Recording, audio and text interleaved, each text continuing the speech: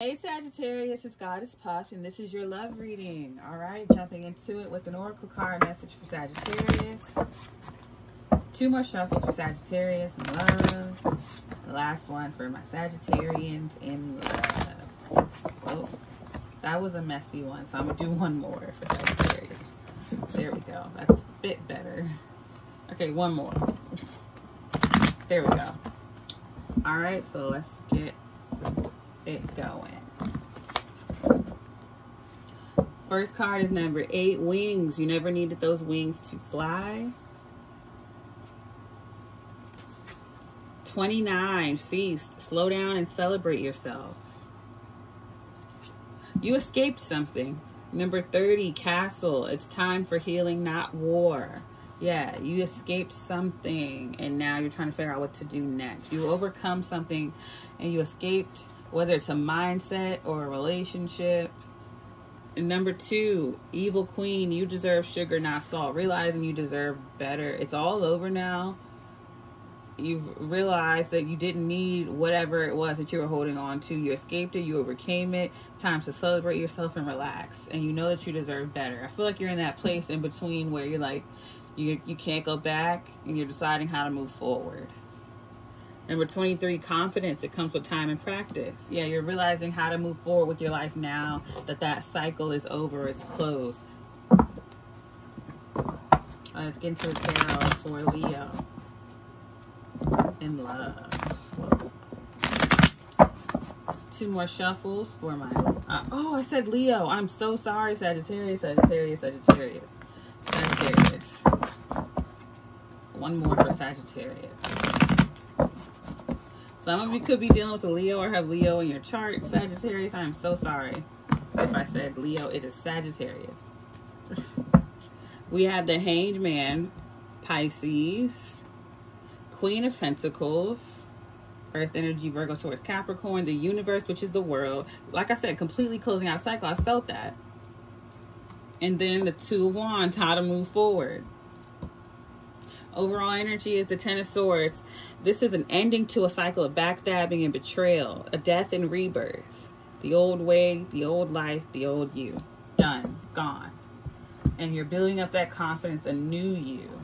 So with the hanged one, the hanged man, is seeing both sides to a situation and gaining enlightenment, which is good to clarify wings. You never needed those wings to fly. You never needed that person, place, thing, mentality, mindset, or whatever you thought you needed to excel and succeed in life or to free yourself. You didn't. You realized all you needed was to believe in yourself, which sounds corny, but that's usually the case most things that are so cliche that you're tired of hearing are usually exactly what we need. When we have our spiritual awakenings or epiphanies or realizations we all it's always the simplest advice that we heard a million times from well from my experience that's how it is that are like the the holy grail of what we need to hear at the time feast, slowing down and celebrating yourself with the Queen of Pentacles, yes. Look how she's sitting peacefully, stably, calmly. Whether you're male, female, non-binary, masculine is the one taking action. Feminine is receiving. You are receiving because you've already taken the action.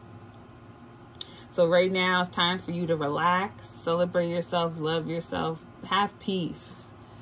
And then right after that, for double clarification, it's time for healing, not war clarified by the world card. Complete closing of a cycle. It's done. It's over. And it's also a major accomplishment. So congratulations. The universe is always closing of a cycle permanently and major accomplishment. You overcame something. You released a crutch that you thought you needed. And now you, all you realize that you need is yourself. It was always within you. You never needed anyone or anything else to get where you wanted to go. So now it's time to celebrate yourself. And you sometimes when you're so used to a situation, whether it's toxic or not, you always feel like when you're out of it, you feel weird. Like, was this the right thing to do? Was it this? Was it that? Was I overreacting? Blah, blah, blah. But this card is letting you know evil queen, you deserve sugar, not salt. You deserve sweet things. You deserve nice things. You deserve what you asked for and not them giving you the wrong thing. That's like you ordering salt I mean, you ordering sugar and they give you salt. No, that's not what I wanted. And that's also not really nice. They try to trick you on purpose. And with the two of wands, you're deciding whether you move, go back or move forward. You can't go back. That cycle is done. So the only choice you have is to move forward. And any cycle of backstabbing, betrayal, pain, confusion, that's all done. It's closed. And you have an abundance of options. And you feel nervous because you don't feel like you're confident enough or you don't feel like you have what it takes to get to where you want to go. But confidence comes with time and practice. Confidence doesn't come before you go somewhere. Usually the situation arises and you have to learn and gain that confidence through it. You don't get confident and then go out there and get it done. You become confident through the experience. You don't learn how to do things before they happen. You learn it on the way. That's what we call a journey, life experience. And sometimes we forget that. Sometimes we're like, when I lose this amount of weight or when I get this certain type of job, then I'll do this, then I'll do that. No, you usually learn through experience, which is the best because that's something no one can take away from you. All right, clarify this for my Sagittarians. Clarify this message for my Sagittarians. Two more chakras for Sagittarius. And last one. Wow, I gave y'all some real tea best advice I've given in the past week to any sign, I feel. That was deep. Even though like the deepest advice is usually the most simple that and that's why we so easily overlook it because we heard it a thousand times. Clarifying the hanged man is seven of cups. And what I was saying was confusion. Also a lot of options. You're no longer confused. You felt like you felt like you had this one option and you can only do things one way, but you're realizing again, you never needed whatever it was to excel in life. You're seeing things from another perspective. You're not, you have many options. You may have felt like you had no other way of doing it without this person, place, or thing, but you're realizing you have abundance of options, many other choices, many ways to think. You see all those cards on the table? Many options with the seven of curses is the seven of cups you got a lot of options pretty much. And then the five of swords, backstabbing, betrayal, trying to hurt someone on purpose, trying to win at all costs. You felt like that's the way, maybe someone taught you that that was the way to win. Like you had to say things to hurt others. You had to take others down in order for you to succeed, uh, succeed, but that's not the case. I feel like someone tried to teach you that or you thought that from childhood, but you're realizing that's not how you have to do things to win. You don't have to be mean and nasty or hurt others for you to exceed or succeed in life. Also, you don't have to be with someone who treats you like this. Or you're realizing that this behavior isn't normal. Because the Five of Swords is trying to win at all costs, even if it hurts yourself and others. And this is also someone purposely trying to hurt someone. You're realizing that you're above that now. You don't need to deal with someone who's like that, and you don't need to implement that type of strategy for those of you. You know, it's going to be different for everyone. But long story short, no one needs to be hurt in order for someone else to be happy clarifying the Queen of Pentacles is the Queen of Pentacles. Wow. Okay. So that's a double here. So you're definitely dealing with an earth sign, Virgo, Taurus, Capricorn. You have earth in your chart. But the Queen of Pentacles is someone who's very peaceful, very stable, very grounded, very independent and dependable. And that is who you are becoming very confident. I mean, they're both just sitting there calmly. And even here with feast, slow down and celebrate yourself. You're very calm. And the Queen of Pentacles is abundant and all those fruits around her in this picture. Very abundant. All the vegetation in this one.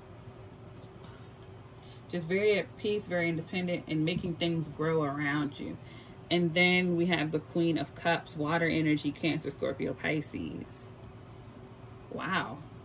That is very strange. You could be dealing with an earth sign and a water sign. But these signs can also be within you attracting that type of stable energy. I feel like these are all aspects of you. Whew, sorry, Sagittarius. Hmm. But I feel like these are all aspects of you or people around you who tried to bring you up to be, you know, emotionally manipulated, verbally manipulative, or abusive to get what you wanted. You're learning that that's not the case. You don't need to do that or be around people that are like that. And you're just becoming very loving, very open, very intuitive, trusting yourself, and standing up for yourself becoming more independent.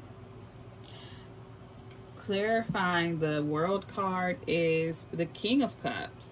So you could have had water sign parents or just this water sign couple in life that you decided some of you are cutting your parents off and keeping them out of your life. Sometimes parents can be so toxic that they do more harm than good in certain people's lives and no one should judge anyone for cutting them off. Maybe you thought you needed these people in your life, whether they're parent, friend, family member, whatever. You thought you needed this these people in your life and you're realizing you don't. And so you're done arguing with them, you're done fighting with them, you're done trying to prove yourself to them. You're just moving on and closing the cycle on them. Yep.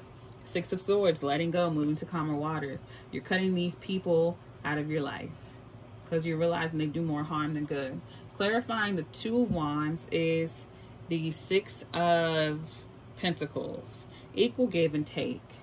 That's what you're going towards you're realizing that this they just threw you to the wolves here, used you as a sacrifice, and you're like, not anymore.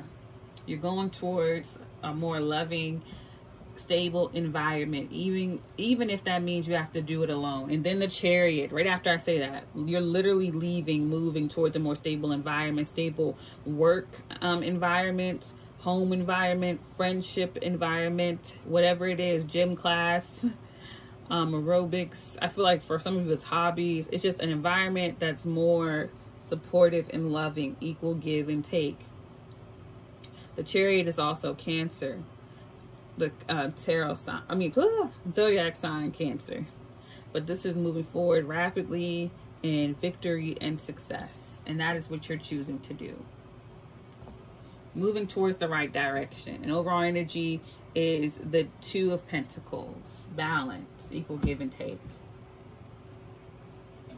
So you're leaving behind a toxic environment, toxic partner, toxic people for better you, better life, and building up your own confidence and seeing your worth, seeing yourself for who you truly are and what you can be with or without them. All right, that's beautiful. If this reading resonated, don't forget to give me a like, comment, subscribe, or a share. And if you'd like to book a personal, that information is below. And if you would like to view or purchase my sister's beautiful crystal jewelry and rings and necklaces and earrings, all that is below as well. I send you peace, blessings, and love, Sagittarius. Namaste.